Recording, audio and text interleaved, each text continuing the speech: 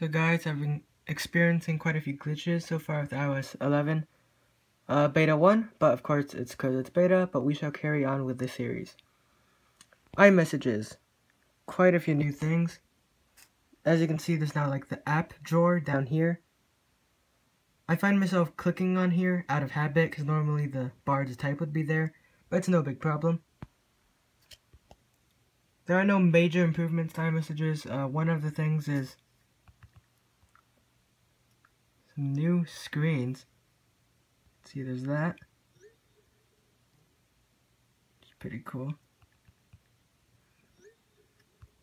And then there's Spotlight. That one, I don't think it's as cool as the other ones, but it's it's a pretty cool idea. Like, it's really unique. I love how it does it twice because I'm texting myself.